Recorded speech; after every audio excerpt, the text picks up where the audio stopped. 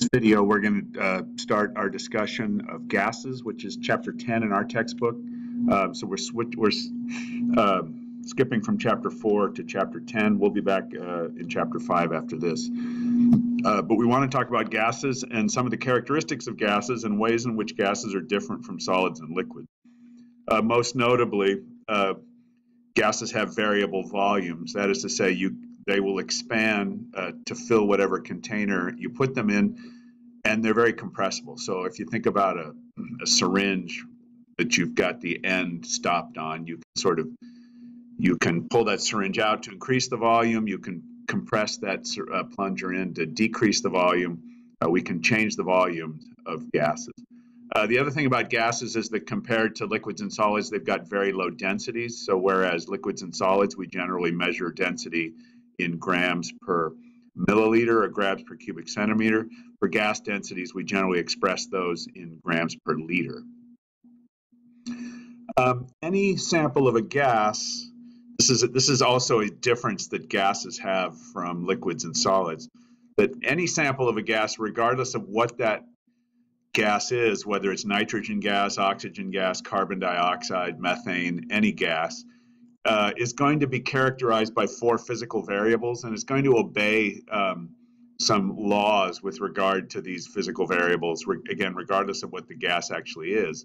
And those four physical vari variables are pressure, which we'll talk about in more detail in just a second, volume, which is generally going to be measured in liters, temperature. We're always going to express temperature when it comes to gases in kelvins because the laws that govern gas behavior uh, are absolute, have to do with absolute temperature and absolute volumes and things like that. So we have to use the absolute temperature scale, which is Kelvin. And then the amount of substance, which is going to be expressed in moles. So pressure, volume, temperature, and number of moles. So let's spend some more time talking about pressure because this is something that we haven't talked about in class yet. Um, pressure is defined as force per unit area. And you may uh, recall that in the English system, pressure, say tire pressure, is expressed as pounds per square inch. So pounds is a unit of force, the square inch is a unit of area. So from that experience, you can kind of get your brain around the fact that the pressure is defined as force per unit area. Um, the atmospheric pressure is essentially just the weight of a column of air um, on a particular point on the on a particular uh, area on the Earth's surface. And so here's just a sort of an illustration of that. Um, pressure as an SI unit, because it's force per unit area, the SI unit of force is the Newton. Uh, because the SI unit of length is a meter, then the SI unit of area would be the square meter. So uh, the Pascal is defined as one Newton per square meter. That turns out to be a pretty small unit. Um, in fact, uh, a, because it's such a tiny, because it's such a small unit, we define the bar as being 10 to the fifth pascals. That is 100,000 pascals, and a bar is still slightly less than standard atmospheric pressure. And so, um, and so as a result, we don't use, although these are the SI units of pressure, we don't normally use them in the laboratory. What we do use is a system that was devised before the SI system, in which we're measuring pressure based on its ability to push against a column of mercury. And so here's, so let's talk about that. Here is a sort of schematic photograph of what's called a barometer. And I actually have a barometer a mercury barometer hanging on the wall in our lab. I need to do something about getting it calibrated so that it's measuring pressures correctly. But a barometer basically uh, measures a gas's ability based on its pressure to push uh, a column of mercury against a vacuum. And so here's an example, uh, again, a schematic of a, of a barometer. You have a, a evacuated tube with a column of mercury in it that is immersed in a pool of mercury. And then the atmospheric pressure is pressing down on the mercury. Nothing is pressing down in terms of air pressure on the inside, the only thing that's the only downward force here is the is the weight of the mercury itself. And so um, you, and so you measure the pressure of the atmosphere based on the height of the column. And so um, and and one atmosphere is defined as being um, 760 millimeters of mercury. So it's standard atmospheric pressure. Um, if you've got a column of mercury in an evacuated tube in a pool of mercury, this H, which is the distance that it's pushing the mercury up the column uh, above the top of the pool of mercury that's exposed to the atmosphere, would be 760 millimeters. Let's talk about that um, in a little more detail standard atmospheric pressure is defined as 760 millimeters of mercury. You, you, you may, if you like to watch the Weather Channel, hear them talking about uh, air pressures in terms of inches of mercury. That's the same system. So a barometer, in fact, later on the slide, we'll get to that. A barometer can be measured in inches of mercury as well as in millimeters of mercury. But when you hear that, now perhaps you understand what they're talking about. It's it's how high the atmosphere at that pressure is pushing a column of mercury against a vacuum. And so one atmosphere is defined as exactly 760 millimeters of mercury, and that is standard atmospheric pressure. So I don't have any I don't have any zeros after this. I don't have a decimal place here because these are exact numbers. So you, these have infinite significant figures. Well, there's another name for a millimeter of mercury, and that's called a torr uh, named after a guy that did a lot of the science back in the 19th century. His last name was Torricelli, and so they named the unit after him. It's called a torr. One millimeter of mercury is exactly equal to one torr. And therefore, you can just substitute one of these into the other, and you'll find that one atmosphere, which is the standard atmospheric pressure, is equal to 760 torr. That is also an exact number with infinite significant figures. Um, I mentioned that there that a that a bar or a or a hundred thousand pascals is slightly less than one atmosphere. So one atmosphere is actually equal to 101,325 pascals, which would be 1.013 bar. As I mentioned before, we typically don't use these units. Um, main thing that you're going to have to remember is these is essentially that a torr is equal to a millimeter of mercury, so we use those terms interchangeably, and that there are 760 torr or 760 millimeters of mercury in one atmosphere.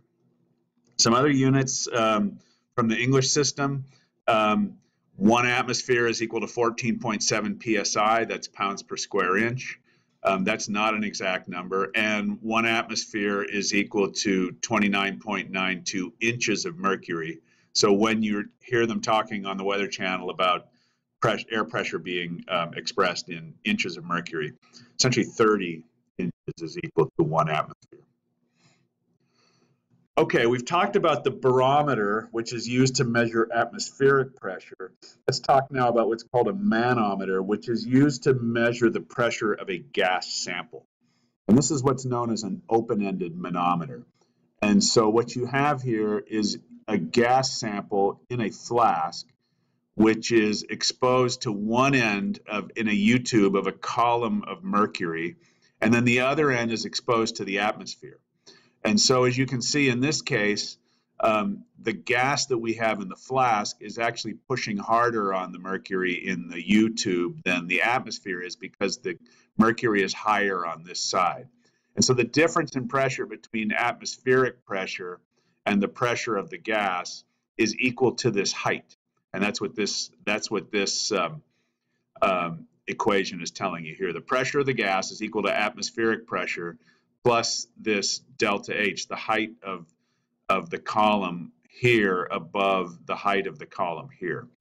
And because this is higher on the atmosphere side, this is going to be P atmosphere plus pH. If it was higher over here and lower over here, it would be P atmosphere minus pH because the, in that case, the, the atmosphere would be pressing harder if this side was lower than that. Okay, so the manometer is used to measure the difference in pressure between atmospheric pressure and that of a gas sample. And so we're really going to use an open-ended manometer like this when the when the pressure of the gas sample is some relatively close to atmospheric pressure. So in this case, I did the calculation and figure out the difference between 136.4 and 103.8 is 36.2 millimeters or 36.32.6 torr. And so that's what H is equal to. And therefore, in this case, if if it was a day in which atmospheric pressure was 760 torr, then the pressure of this gas would be 792.6 torr. So again, we use an open-ended manometer to to uh, to measure pressures of gases whose pressures are fairly similar near to atmospheric pressure. We can also use what's called a closed end manometer, and in that case, the closed end is evacuated. So this is very similar to a barometer. And so now we have the gas, and, it's, impo- it's, it's always going to be the case that if I have something in here, it's going to be pressing down, and this side's going to be lower than this side because it's pressing against a vacuum. So if this was a totally evacuated uh, chamber, these two things would be equal to each other. If there's any pressure here at all, it's going to press down and I'm going to have a delta H. And because it's pushing against a vacuum, then the pressure inside this flask is simply equal to the value of, of H here. And so we tend to use a closed end manometer for measuring the pressure of gas samples that are relatively close to zero. So let's just go back over these devices and what they're used for. A barometer is used to measure atmospheric pressure. An open-ended manometer is used to measure uh, samples of gas sample pressures that are near atmospheric pressure. And then a closed-end manometer is going to tend to be used to measure samples who are near zero. And so, of course, if something was in between, halfway in between zero and atmospheric pressure, you could use either an open-ended manometer. But if it's closer to closer to atmospheric pressure, you would use an open-end manometer. If you it was closer to to zero, you would tend to use a closed-end manometer. Something like this could pop up on a QOD. All right, so let's just go back and remind ourselves that any sample of gas, regardless of what the identity of that sample is, uh, in other words, regardless of what substance we're talking about, is going to be characterized by four physical variables. And we've mentioned again that these are pressure, which we've just spent a lot of time talking about, volume, temperature, always expressed in kelvins, and the number of moles of the gas. And in fact, all four of these, for any gas, all four of these variables are connected by an equation that we call the ideal gas equation.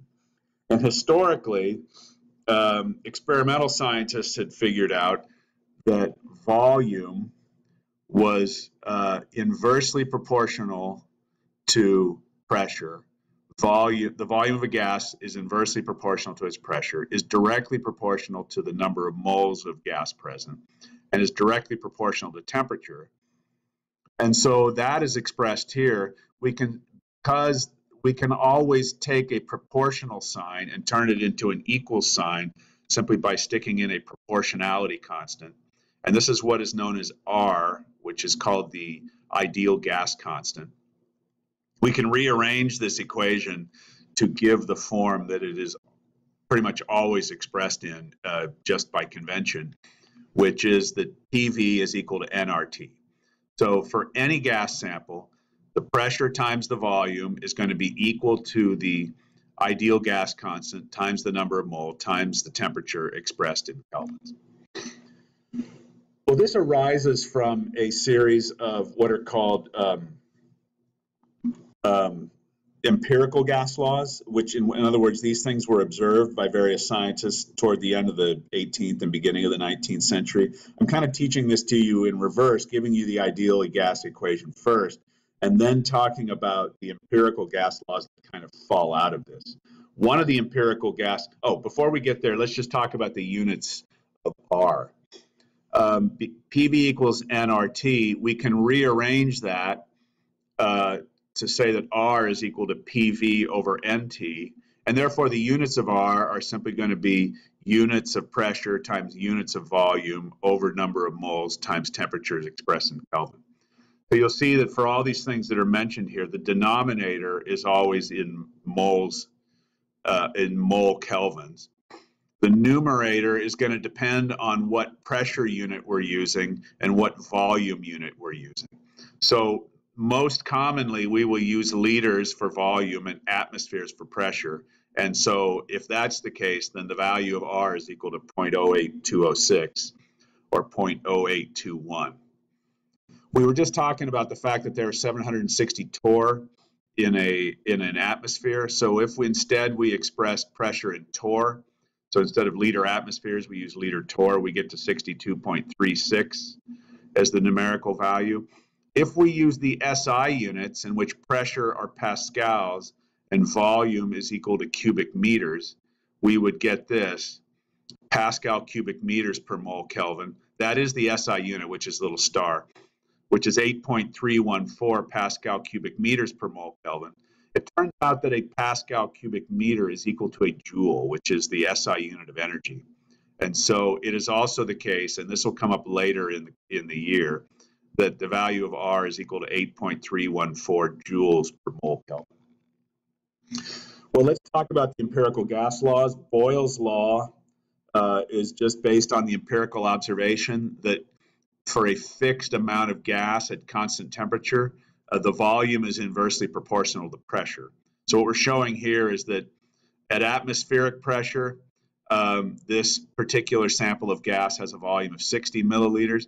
If I double the pressure, so that is now double atmospheric pressure, uh, the volume of that gas shrinks down to 30 milliliters. So double the pressure and the volume is cut in half. They're inversely proportional to each other. You can graph pressure versus volume. You'll get a curve like this. If you uh, graph volume versus reciprocal pressure, you will get a straight line. So that means, so that's what an inverse proportion is, that that uh, one constant is directly proportional to the reciprocal of the other constant. Well, let's get to the meat of why, of how Boyle's law is useful to us. So because PV is equal to nRT, if we hold N and T constant, that is for a fixed amount of gas at constant temperature, then PV is simply going to be equal to a constant. R is always a constant. If we hold N and T constant, then PV is simply equal to a constant. Since that's true, since at fixed temperature, uh, any pressure and, under any circumstances of pressure and volume, it's always going to come out to the same constant. We can set condition one equal to condition two and say that P1 V1 is equal to P2 V2. And the way that a the form in which a problem would present itself would be you have a gas at a fixed temperature that has this pressure at this temperature. I now change the, I'm sorry, it has a, this pressure at this volume. I now decrease the volume to such and such. What is the new pressure? And so you're typically going to see a problem in which you're given three of these four variables, then ask for the fourth. Another empirical gas law is Charles's law, Charles's law is something that we can just kind of intuitively understand, and that is that if you take a balloon and you heat it up, the balloon gets bigger. You take a balloon, you put it in the freezer, the balloon gets smaller. So for a fixed amount of gas at constant external pressure, the volume is going to be directly proportional to its absolute temperature, that is its temperature Kelvins. And so if I graph temperature versus volume, for a fixed amount of gas at a fixed pressure, I will get a straight line plot. So let's just think about how that relates to the ideal gas equation. Since PV is equal to nRT, if I hold P and N constant, so if I hold P and N constant, and so therefore I want to get all my constant uh, uh, values over on the same side of the equal sign. So I'm going to divide both sides by P. I'm going to divide both sides by T. That tells me that volume divided by temperature is equal to a constant because volume divided by temperature is equal to nR over P. And if I'm holding N and P constant, then volume over temperature is going to be equal to a constant. Once again, I can set for two different conditions, I can set them equal to each other because that constant is going to remain. And so initial volume times initial temperature is equal to final volume times final temperature. So you might get a problem that says um, a particular sample of a gas at constant pressure had this volume at this temperature. The temperature was changed to some other thing. What is the new volume? So that's a typical example of a Charles's law problem. Finally, there's what's known as Avogadro's law, and this is a fairly straightforward thing to understand intuitively. Um, at constant temperature and pressure, volume is going to be directly proportional to the number of moles of gas. And this makes sense if I take a balloon and I start blowing it up, and the external temperature remains the same and the external pressure remains the same. As I blow more air into it, the volume of the balloon is going to increase. So volume is directly proportional to the number of moles of gas. And so if we go through this again, since PV is equal to nRT, if I'm going to hold pressure and temperature constant and look at the relationship between volume and number of moles, I'm going to divide both sides by n. I'm going to divide both sides by p. That's going to give me v over n equals RT over P. If I'm holding T and P constant, RT over P becomes a constant. V over N is equal to a constant, therefore I can set initial and final conditions equal to each other, and I get this I get this version of Avogadro's law, which would be useful to you in solving a problem. Okay, we'll talk about these empirical gas laws uh, in much more detail in class. Uh, QOD would tend to focus on what the what these uh, four properties are and some things about uh, pressure and measuring pressure. Thanks for watching.